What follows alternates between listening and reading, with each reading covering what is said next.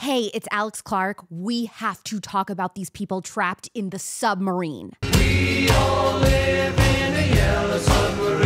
This company called OceanGate, which right there, I'm like, you're really gonna name your company after a conspiracy theory, send these people into the depths of the sea, never really been proved before that it'll work. Foreshadowing. Anyway, interesting choice. Five rich people trapped in a submarine. They pay $250,000 each to go into the depths of the ocean to explore Titanic wreckage. And they're basically lost. Their, their sonar thing went off the radar. Nobody knows where they are. The size of this thing is as big as a minivan. I'll just be here listening to my tunes.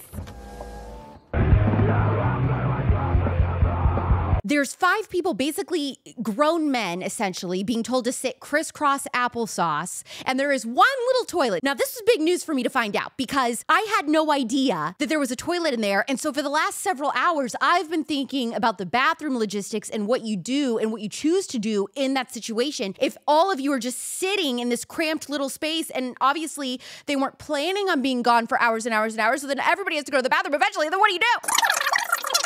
But there is a toilet, so we can all, you know, relax on that at least. The whole sub is essentially homemade. They've got lights from Campers World in there, and they had a spokesperson going on some news station not very long ago, basically making a joke about the fact, like, yeah, this is basically a death trap. Let's just try it. Sign me up. that has not been approved or certified by any regulatory body and could result in physical injury, disability, emotional trauma, or death.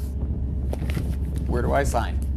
And the whole sub is driven and controlled by like a literal PlayStation controller. I am not exaggerating. You're thinking like some kind of like fancy scientific looking joystick. No, it is actually a video game console thing. Who is signing up to do this? It is just literally a death wish. And that's why people are roasting them because it just seems so absurd and so stupid that none of us would have agreed to do this. They knew that this thing wasn't safe, but the problem is, is that you're dealing with the uber, uber, uber wealthy rich who are wanting interesting adventures and Instagrammable excursions and all this stuff, and they're bored going to Naples, Florida. They want something spicy and unique. And so, what does that leave us? You can climb Mount Everest, you can go tour Titanic footage, or you can basically go do Elon Musk's space travel thing, none of which I would ever be signing up for. You are asking for it to sign up to do one of these things. And one of these guys brought his 19 year old son to go along. And so that, you know, immediately I'm thinking, like, was the 19 year old son actually getting hyped to go tour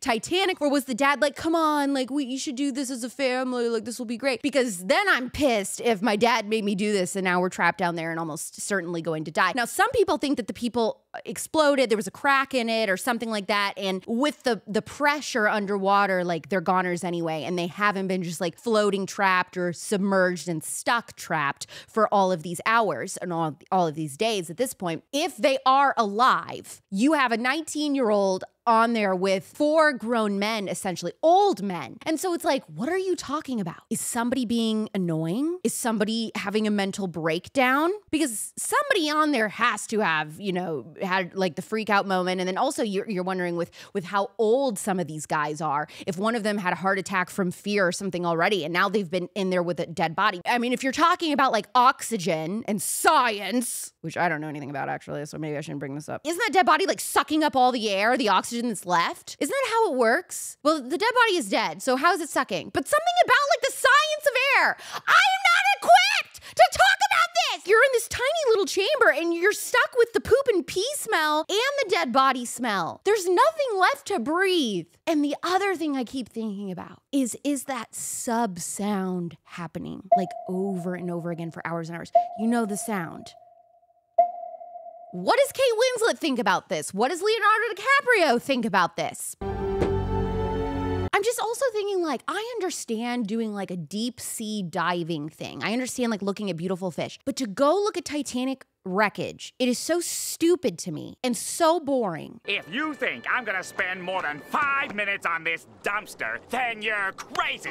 I mean, look at this place. And like, why does anyone care when you can look that up online? You have to understand they are so deep in the ocean. Like, it is pitch black. There's basically no sea life. I mean, there is very, very, very few sea creatures. There was this article that somebody posted on Twitter last night. It was like a Substack article or something like that. But it was basically like scroll through this thing and it'll show you the deeper, deeper you get, like however many feet under the ocean, like what life is down there. And if you scroll, you keep scrolling on this page all the way down to where the sub is and where the Titanic footage is. There was like maybe three fish, and they're exactly what you're imagining. You know, the kind with the teeth and the little light bulb, and that's it. That is it. I'm gonna get you. I'm gonna be your best friend.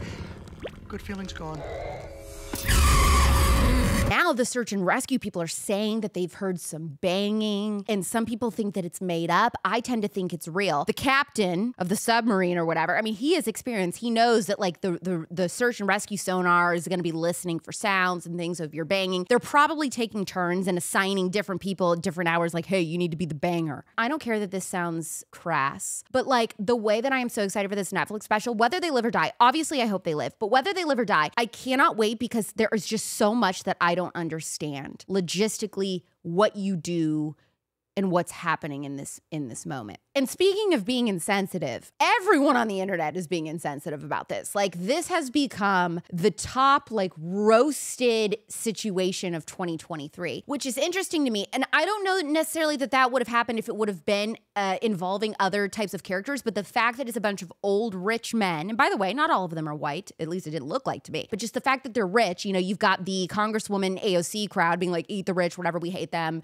nobody cares, this is what they deserve. I don't have that sentiment about it, but I do think that some of the like dark humor about it is is very funny and I'm enjoying it very much. Like I tweeted, they're going to get down there, they're going to find them, they're going to rescue them. And you know, we know that there's 5 men on this submarine and they're going to open the vault of the door, but there's going to be a sixth person.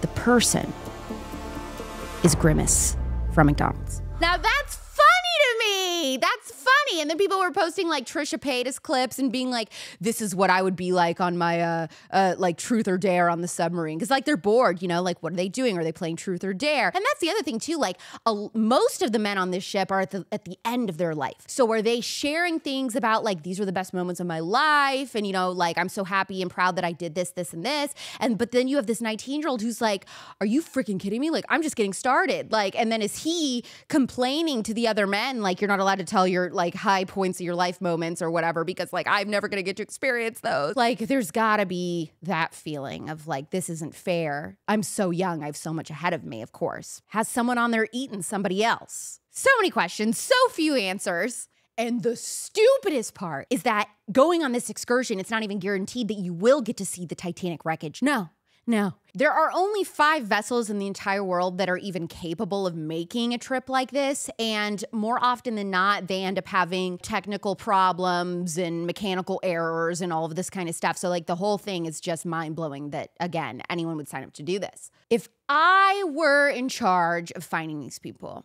it's very simple. Tell me that a boy I like is on the submarine. I don't have to have anything but his first name, and I will find him because I do it on Instagram every day. Would you sign up to do something like this if you were super rich and you just had all of the money in the world that you could spend? Will Grimace be found on the submarine? I gotta be honest, I can't get a beat on you, man.